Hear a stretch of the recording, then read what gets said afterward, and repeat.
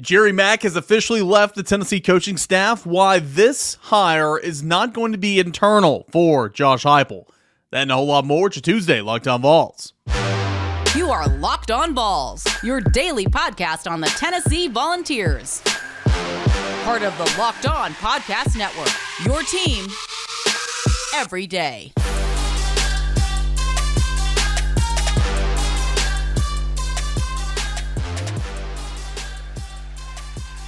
Hey, good Tuesday morning, everybody. Welcome to Locked On Vols. I am Eric Cain. So happy to have you guys here with me today. Shout out every dayer as always, and shout out to FanDuel, where you can make every moment more over at FanDuel. We got a fun show coming up today as you listen for free wherever you get your podcast. You can download, please download for free by subscribing to the channel wherever you get your podcast, including on YouTube and um, it's it's going to be a whole lot of fun today. Jerry Mack has, has left the uh, Tennessee coaching staff. We'll talk about that departure, what this means, who could be some potential replacements.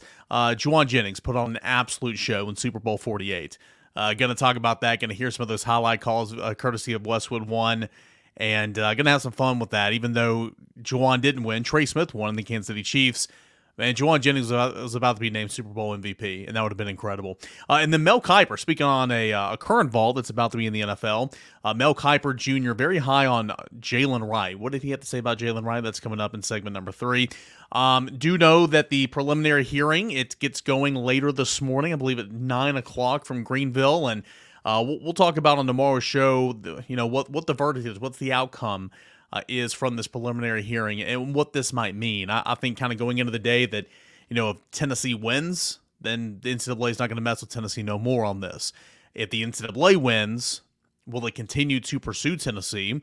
Um, or will it think better in terms of, well, look what Tennessee just did, drug us to court do we have time and the resources and the money available to do that to all the other 20 programs we're investigating right now? So uh, we'll discuss everything that comes out of Greenville with the preliminary hearing, state of Tennessee versus the NCAA this morning. We'll talk about on tomorrow's show, but I'm going to kind of wait and talk about that on tomorrow's show when we know a little bit more. So uh, let's go ahead and get into it. All right, Jerry Mack, Tennessee's running back coach, has left the Tennessee coaching staff is going on to the Jacksonville Jaguars. I made the comment on yesterday's show that we're losing more and more coaches, not necessarily Tennessee, but the college football in general, uh, to the NFL, and that's a problem. And I stand by that.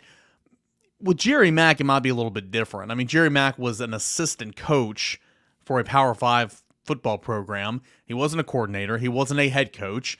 Um, likely just continuing to move on up, move on up. Probably going to get a pay raise as well, and, and coach in the National Football League. It's probably going to be. A, it's been a dream of his his entire life, and um, I, I still think it's an issue. Whereas there's so much chaos and so much just craziness happening in the college game right now that you're losing more and more coaches to the National Football League, and we will continue to see that. But Jerry Mack, I just think was wanting to move up in his career. So best of luck to him. I've always liked Jerry Mack and my interactions with him, and as I said on yesterday's program, he was one of the few, and I stand by this too. I mean, he's one of the few on staff that actually, you know, gave an effort in recruiting. And uh, I think Tennessee's done a fine job recruiting.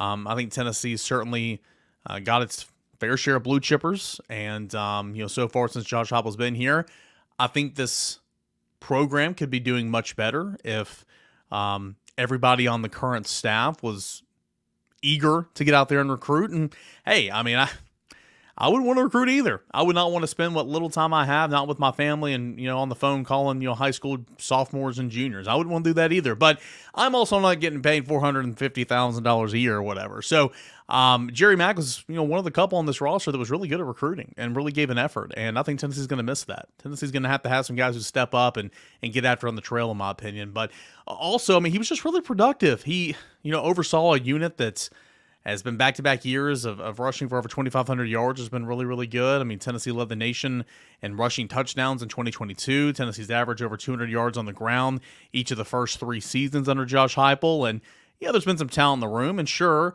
the scheme has a little bit to do with it. And of course, the offensive line has a lot to do with it. But give some props to Jerry Mack. He's done a great job. And, you know, former head coach at the, um, at the uh, HBCU level and, um, a guy that you want on your side a guy that is a great resource for Josh Heupel. And so that's why I think this is a big loss for Tennessee. But it was official on Tuesday, or on Monday, excuse me, when he announced he signed a contract with the Jacksonville Jaguars. Austin Price over at VolQuest.com put out a story. Go ahead and read the entire story. I'm going to read a couple of quotes from from this story, but he gave Austin a couple of quotes. Uh, you know, when, when he was leaving, and uh, some some really good stuff here. You know, quote: "Leaving this, leaving was extremely hard to do because of what Josh Heupel and our staff have created over the past three years. I know Tennessee is headed to national championships in the future, so to have the opportunity to bypass one of those opportunities, to have an opportunity to go to the National Football League, which has been the goal and a dream of mine since I was a young man." since I first started coaching was extremely hard because I know that the future is so bright at Tennessee. Me and my family, we sat down, we went back and forth, and it was extremely tough in the grand scheme of things because you know where this program is headed and you know uh, what the, they're about to do in the landscape of college football. A couple of the, the memories that he had while being at Tennessee is told to VolQuest.com and Austin Price quote, there are so many great memories etched in my mind uh, each and every year that I've been here. Uh, think back to the 2021 season. We were able to beat Kentucky. They were ranked in the top 20, and we were an underdog going to their place, and we score on the first play of the game and beat them on national television. Then we come back in the 2022 season. Just so many memories from that year, beating Florida and Rocky Top a few weeks later, getting Alabama and doing the same thing, closing out the season in the Orange Bowl, beating Clemson that year.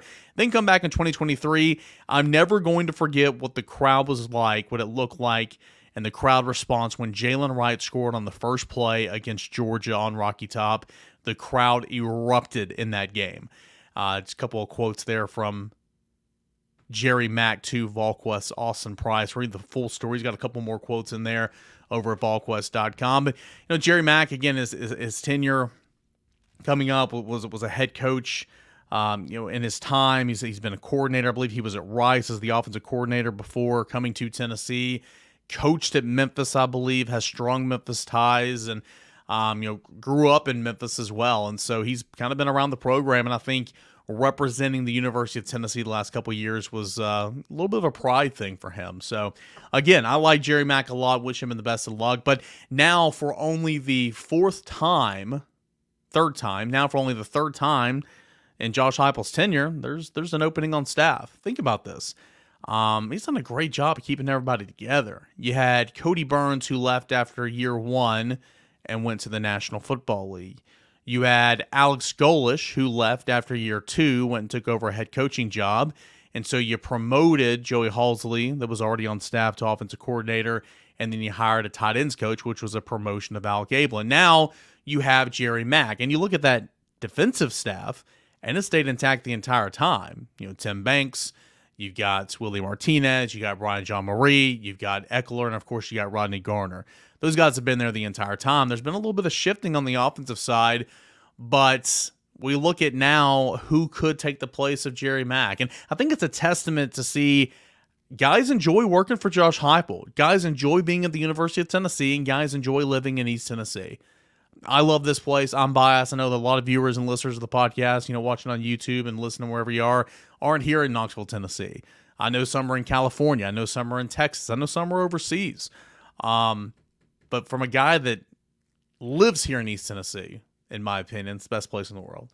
Um, and, and, and people have no clue about it. Then you come here and spend time here. It's like, man, not only is this beautiful, not only are the people friendly, but it's cheap as well. you know, so except you're trying to buy a house in Fountain City. Yeah, that's a story for another day. Um, but uh, it's um, it's a great, enjoyable place to work and live, and I think uh, people are gonna, you know, Jerry Mack included, found that out as well. So I think it's a testament to see how guys enjoy working at Tennessee, enjoy working for Josh Heupel. That this is only the third opening in three years, and the fourth overall, you know, positional change. Remember, Joey Halzle moved up to OC, but he was already on staff. So, um, who could it be? Who could fill in for Jerry Mack? Well, uh, Brent Hubbs over at VolQuest.com put out hot board version 1.0 for the running back room. It's hot board season. I'm not going to give away the entire uh, story here, but a couple of names that I do, or really one name specifically that I want to draw attention to. And I'm not saying he's going to be the guy, but a guy that was here as an offensive analyst in 2021,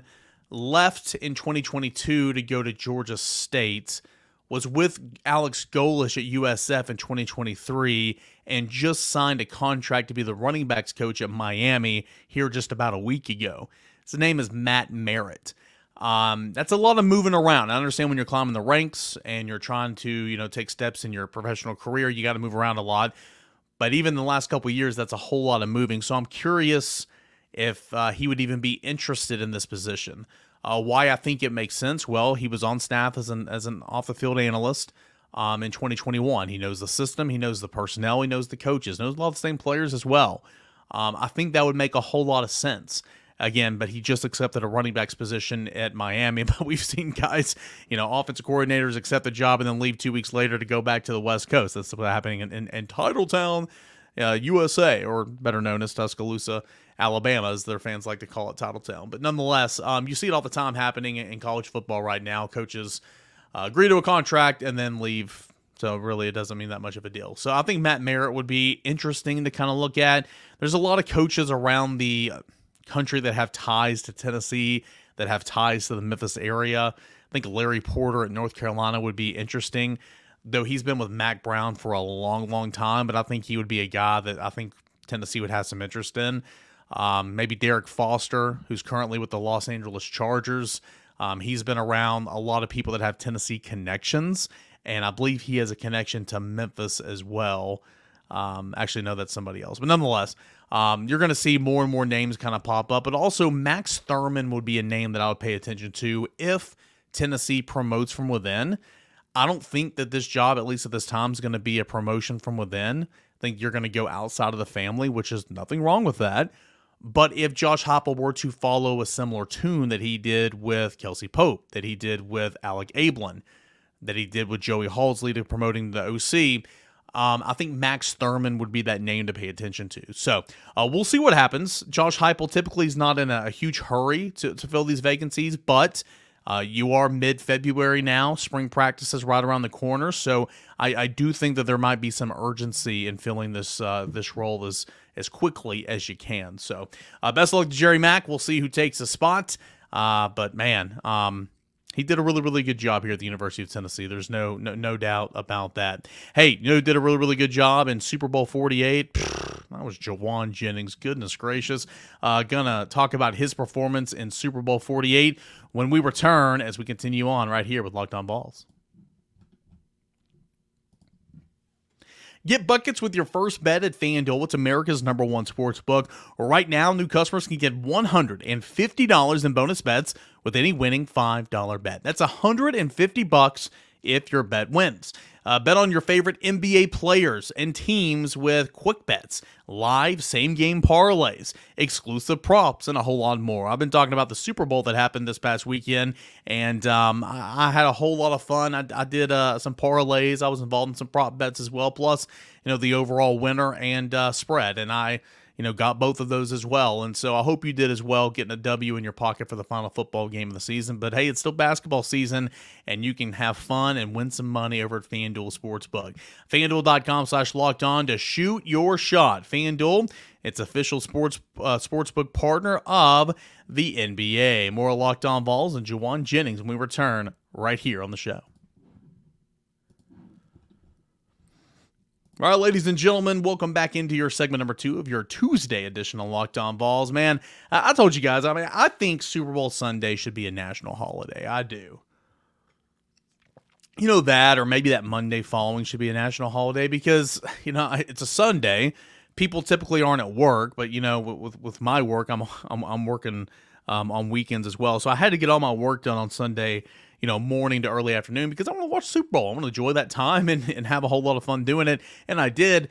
Um, but I was not about to come back and record a Locked On Vols after the Super Bowl last night. Just what?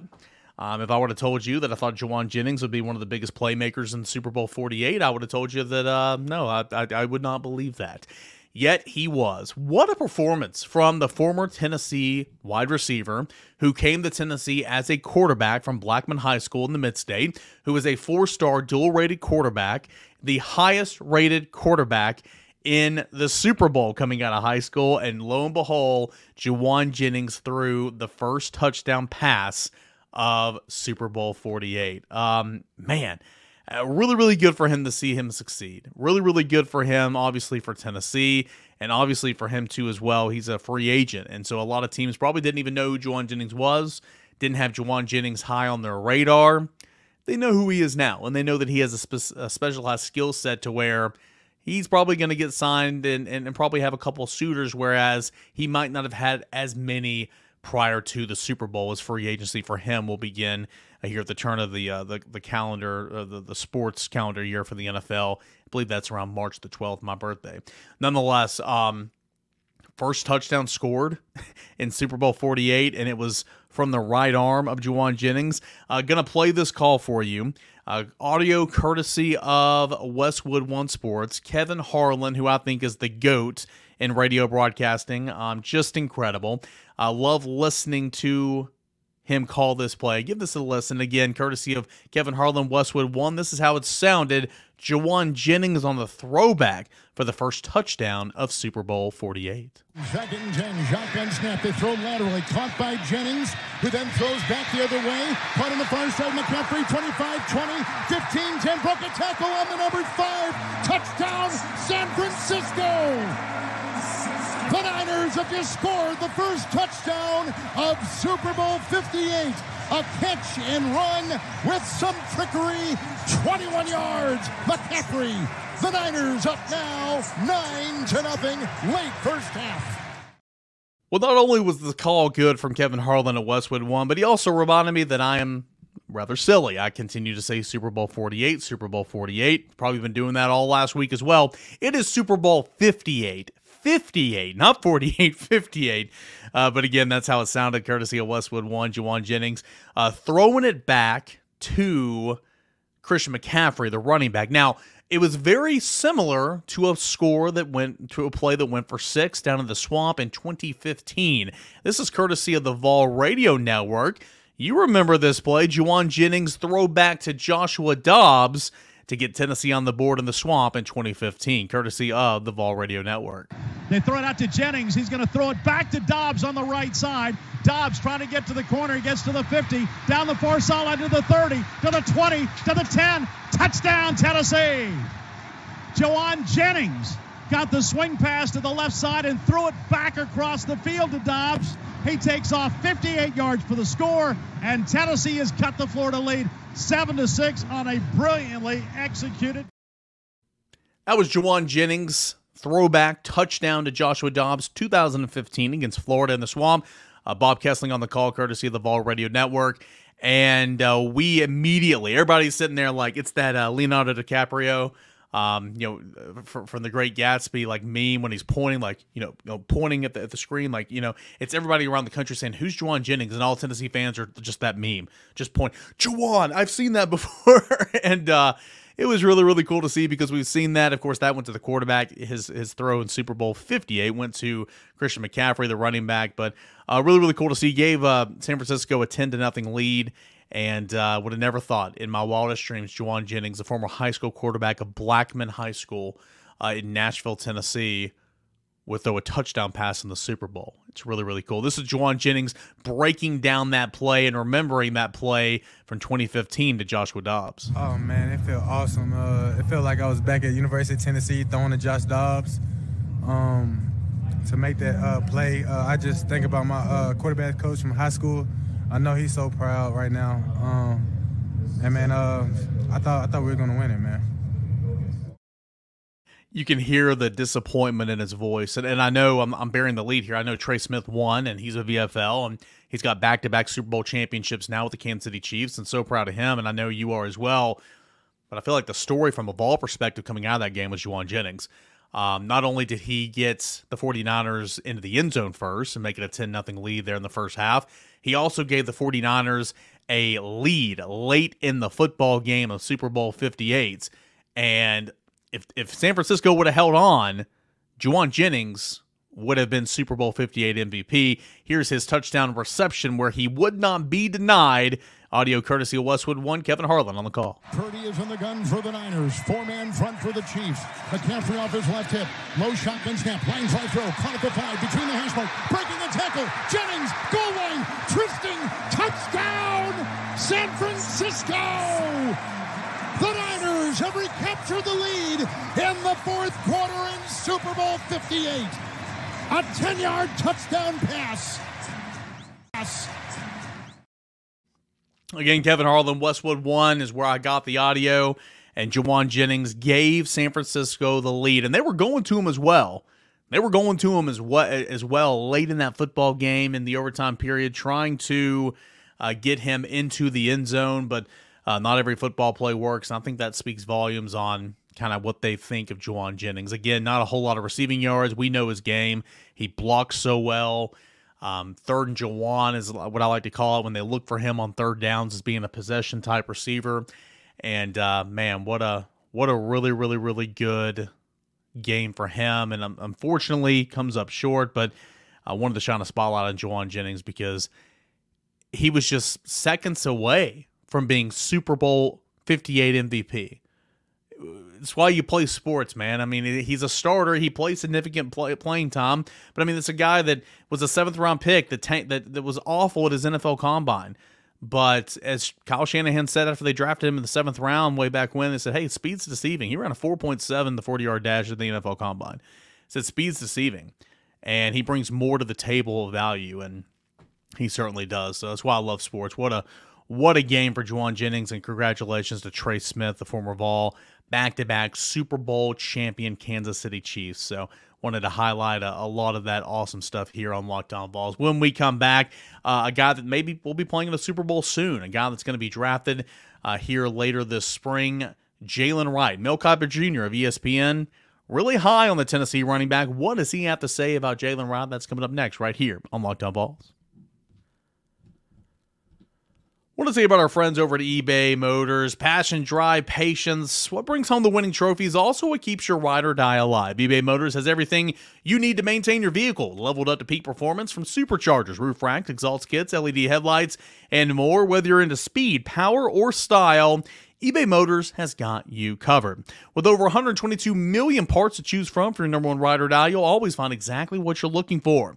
And with eBay's guaranteed fit, your part is guaranteed to fit your ride every time or your money is back. Because of eBay Motors, you're burning rubber, not cash. With all the parts you need at the prices you want, it's easy to turn your car into the MVP and bring home that win. Keep your ride or die alive today at ebaymotors.com. Eligible items only, exclusions apply. eBay guaranteed fit only available to U.S. customers. More Locked On Vols coming up next, right here on a Tuesday.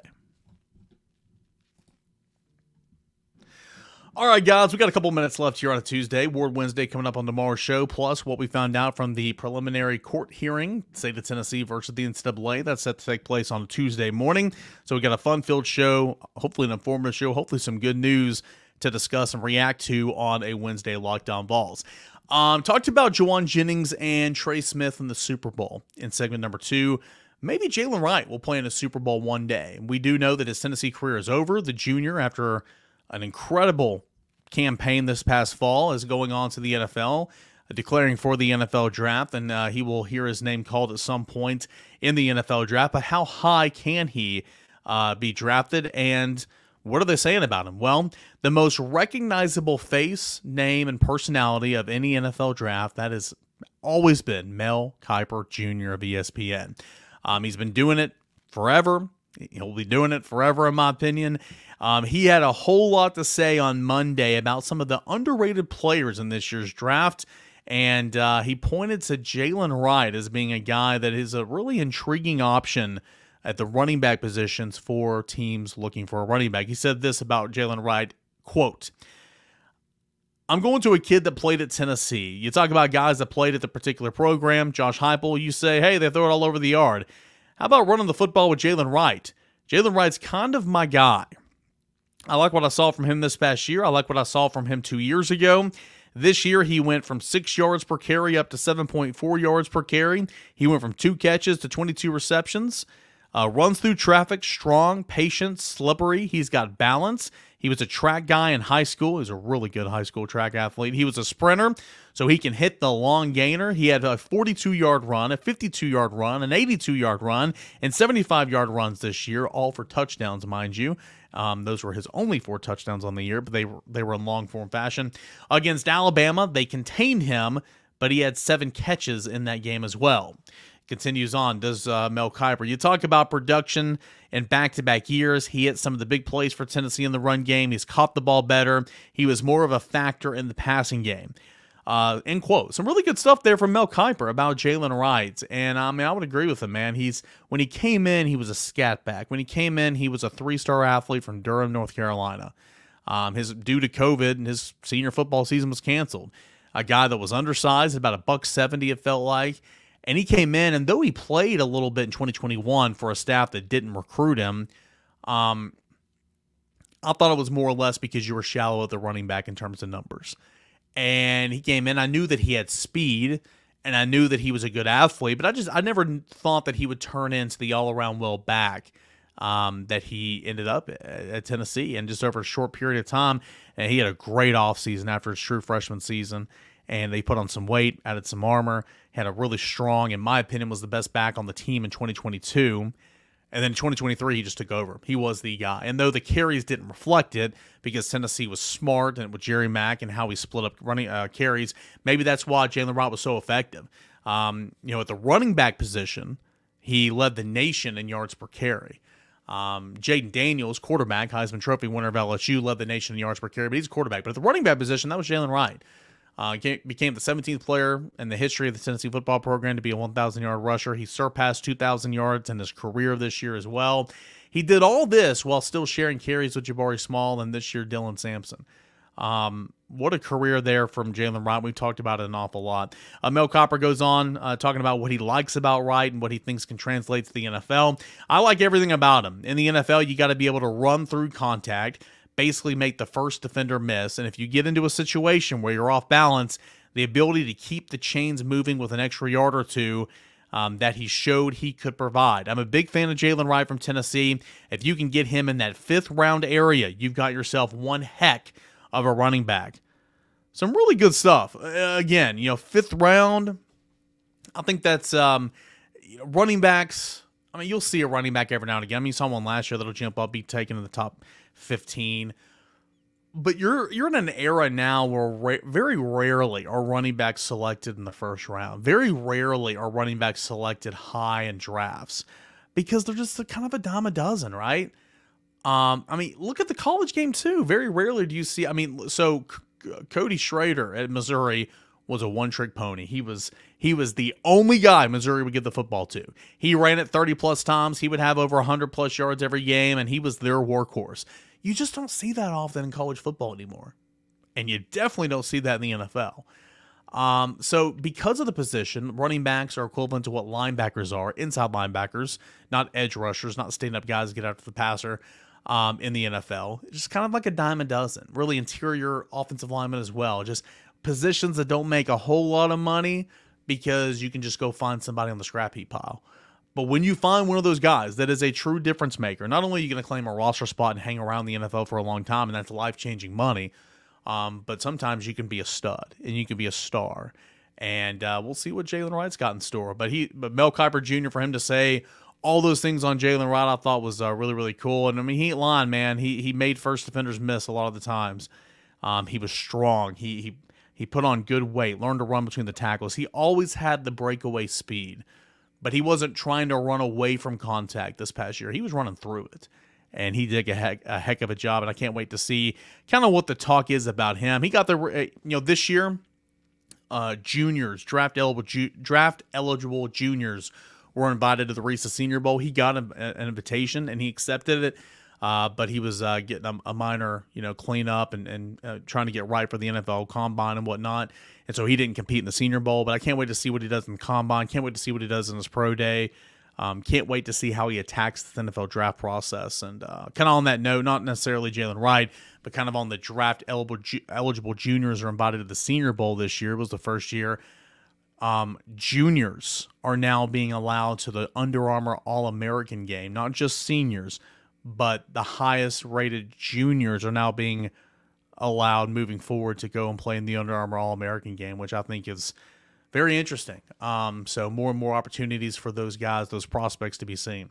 All right, that'll do it here for a Tuesday edition of Locked On Vols. Can't thank you enough for being here. Uh, Jauan Jennings, the dog. Congrats to Ch- uh, Trey Smith for winning another Super Bowl. Jerry Mack, best of luck to him. To the Jacksonville Jaguars. We'll see who Tennessee uh, picks to fill that void at the running back position. And Mel Kiper all over Jaylen Wright says that he's kind of my guy out of Tennessee. All good things here on a show. Uh, today, we'll look back and uh, we'll react to whatever comes out of the court hearing from Greenville, Tennessee on a Tuesday morning. We'll have Josh Ward forward Wednesday, all that and more and it's coming up. It's the plan coming up on a Wednesday Locked Vols. Can't thank you enough. Be safe, and we will talk again tomorrow. This is Locked On Vols.